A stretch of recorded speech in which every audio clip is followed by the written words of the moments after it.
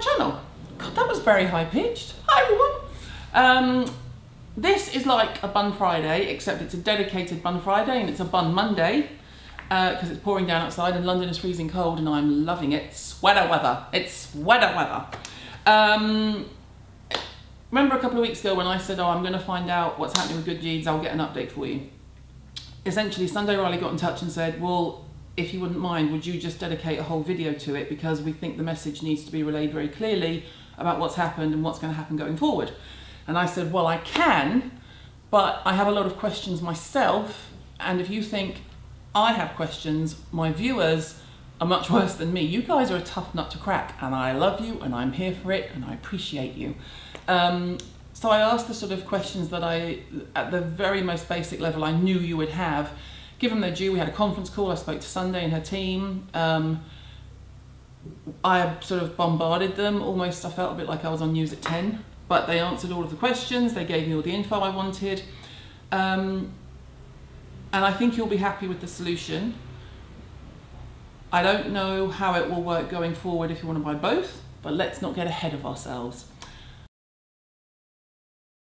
Sunday Riley, Good Genes. This is the original Good Genes all-in-one lactic acid treatment. It is um, their hero product in the industry. I would call this their pension fund. It is the product they're most known for. This and Luna, I would say, but definitely good genes.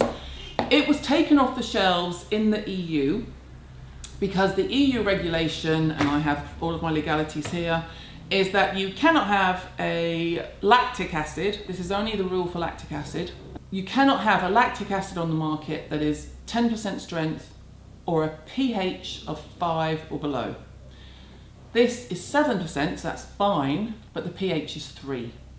Now, a pH of 3, this is why you get such good results for it and why you'll always feel the tingle. A pH of 3 is something that we would do in clinic normally. I have all my, you can't see them, but I have all my sort of clinic acids down there and a lot of those are a pH of 3.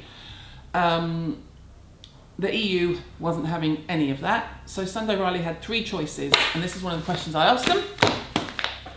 Um, how, why was it pulled from the EU, da da da. Our only options were to drop good genes from the market, market and not offer it to the EU and the UK. And I just said, well, that's it. I remember on the phone call going, well, that's never going to happen. It's your hero product, obviously. Alter the pH to five or above. And I said, well, that's never going to happen because then it becomes virtually useless. They said exactly or switch lactic acid out for another acid and keep a lower acidic pH and that is the option that they went for. Um, they reformulated Good Genes lactic acid by substituting the lactic acid for glycolic and took the opportunity to make the formula cleaner and more gentle.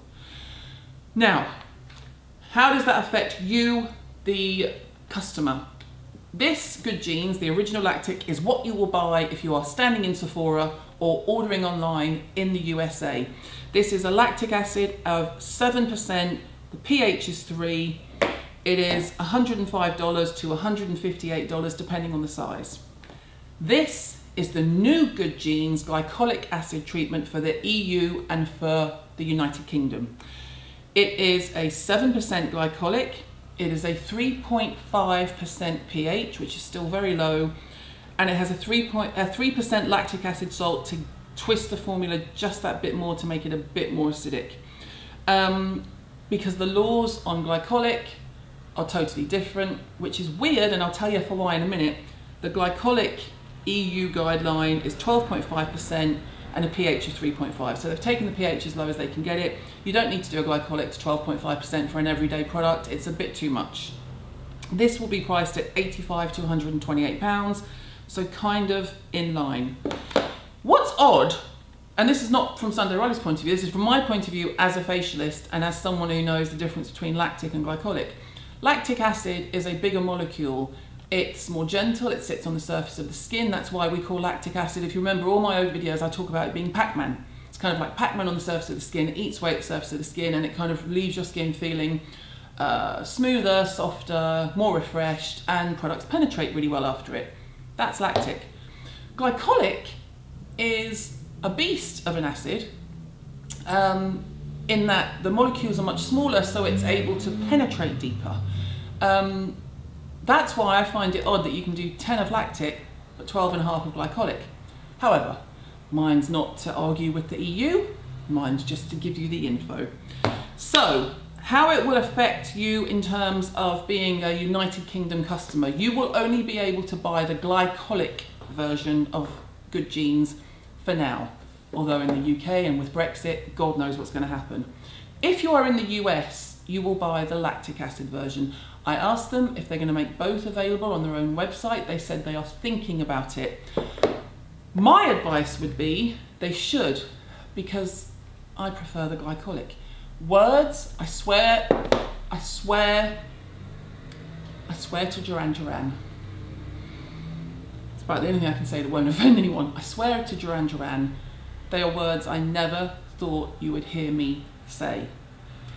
Um, when this first came out, I championed it. It's still a great product. Um, I sort of went off. I didn't really use it as much in recent years because I'm always testing liquid exfoliants, and so it's one of those that you grab. It's like a no-brainer. Oh, I need some lactic. I'll just grab Good genes. This one suits my skin more, which I'm surprised about because I've I've sort of avoided glycolic since before the summer months because we were going to very hot countries, and I just thought, oh I'll just have a break from glycolic and stick with other acids. So I've been using mandelic, I've been using lactic. Um, but the reason I think I like this one is that to make sure that the glycolic formula, now a lot of you, just to backtrack, a lot of you love this because it's lactic and you, you always, you know, I get a lot of people saying I can't tolerate glycolic, I don't like glycolic, it's too strong, yada, yada, yada. Um, I say that to say that there was more to say. I don't say that in a dismissive tone like The Sopranos. Um, what they have done with this one, just want to make sure my paperwork is up to date, thank you very much, um, is buffer it with something to make it extremely gentle upon application. So what I love is you get the initial sting, and I, sting is a good thing, there's no burn, it's like, oh, you know, you can feel it, like someone pinching your bum. Um, this now contains a product called Nopalex or Nopalex, which is the prickly pear that is in a lot of their products anyway. If you look, uh, I remember the original one said prickly pear, but yeah, the main ingredient here is prickly pear. Um, but it, they've clinically trialed it and they've used it at a stronger percentage to basically uh, buffer the strength of the glycolic. So the glycolic will go in and do its work like this but it kind of does it wearing a cashmere scarf, if that makes any sense in any kind of analogy. Um, and I found myself, because I've had both, and I've been sort of playing, I found myself reaching for the glycolic more than the lactic. I now think the lactic, so let me just read you the back label to give you an idea. High potency, purified grade lactic acid exfoliates dull, pore clogging dead skin cells to instantly clarify and reveal smoother, clearer skin. Containing clean ultra glycolic acid to revitalise the appearance of dull, congested and sun damaged skin without compromising on what matters to you most. Safety, quality and fast results. Good Genes Glycolic penetrates the surface of the skin with tiny glycolic acid molecules. Can you see I'm getting blind? Look. Sinking deeper into the skin from other forms of AHA to break apart pore clogging debris and repair the look of sun damaged, congested, wrinkled or dull skin. With just one use, instant radiance and skin clarity are visibly boosted. Now, I have to agree with that. And I tell you, I'll be buggered. I prefer this. I think what they've done inadvertently, and because the EU kind of forced their hand, this is something I would give to Ava because she's at that sort of hormonal teenage sort of acne. It's not acne at all, boo. I'm just giving that information for other people who may be going through it. Hormone forehead spots. You know, like pimply. This is great for that. This one is better for my age group. And I did not find any intolerance. My skin did not go red. Um, I haven't even given this feedback to Sunday Riley. The first time they hear this is when they watch this video. um, I found it better for my age group. And here's what I think they should do. Not that they need to take a blind bit of notice of me. They've got lactic, they've got glycolic. I think they should do good genes L, good genes G, and then also do something like a mandelic. like the acids that aren't really that well known, like branch out. Why only have one in one country and one in another? Now, I also asked about their website. That is coming back. It was supposed to be back up last week. It, as of this morning, I couldn't see it back up, but that is imminent. And as I said, they are toying with the idea of offering both on their website, but that will, again, only be if you live in the USA. If you live in the EU, you're going to have to make do with a glycolic, and I have to tell you, you're not getting a bad deal. I prefer it. Um, whether or not, you know, if they're side by side in Sephora or side by side on their website, I don't think anything is going to slow down the machine that is the lactic original good Genes. But I think if trying to film, thanks very much. Monday morning, central London. Um, I think if you are concerned that you've always loved this and you don't, you're not really a fan of glycolic, I would get into a store because you'll be able to get it in Space NK. Get into a store and patch test it. I think you'll be surprised. I was. I didn't know what to expect. Um, I don't know what to tell you. I have used it. Uh, not so much in the. I've used it. I used it this morning. I used it last night, and I used it yesterday morning. I kind of started picking it up twice a day. When you don't have to, you can just use it in the morning or the evening. It's up to you. So you use them both the same way. They have a similar effect. It's just that the lactic is much more surface. Sort of. This is a bit like having a Hoover, and this is a bit like repairing the carpet. Do you know what? If there was an Olympic sport for analogies, I would be Usain Bolt.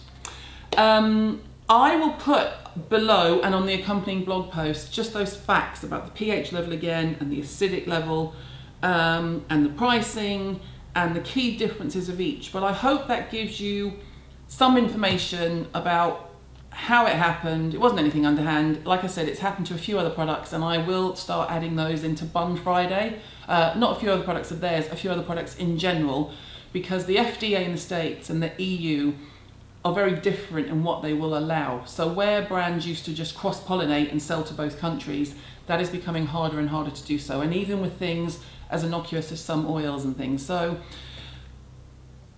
I don't think if you live in the UK and you used to use this one, I don't think you're going to be disappointed by this one. And if you're an older woman, say nothing, yeah? If you are a woman of a certain age, you will probably prefer the glycolic. It's a sweeping statement. I don't know. And if you're in the US and you're a woman of a certain age and you use the lactic, I'm not for a, for a second suggesting you stop using it. I'm just saying that I was very pleasantly surprised. Um, in fact, let me just quickly show you. This is the glycolic and this is the lactic. They're almost exactly the same. One swipe, one swipe. There's not much in it at all um, in terms of texture and application. So you're not going to find one is runnier than the other. I found the glycolic a minuscule, a minuscule more creamy. But you wouldn't know it to kind of look at it. It's just the way it feels on the skin. It just feels a bit softer, which is strange given that it's a stronger acid. Anyway, I hope that helps and give you some clarification. Um, I hope that gives you all the information that Sunday Riley wanted me to give you. Um, I will be in the comments underneath and I'm sure that the brand will be in the comments too because I know you'll all have your questions. Um, but that's essentially it. This is Good Genes 1 with the alpha lactic and Good Genes G. This is how I have been thinking about them in my head. This is all skin types. This is also all skin types, but actually it's better for someone who wants to sort of try and fix sun damage, visible signs of aging, blah, blah, blah. So, you know, seriously. Uh, this is why I don't film on Monday mornings. Um, you may find there's a place for both, but you will not find that place in the UK in the current situation in terms of acids. However, if you live in the USA, as always, you're probably going to be able to buy both. How rude.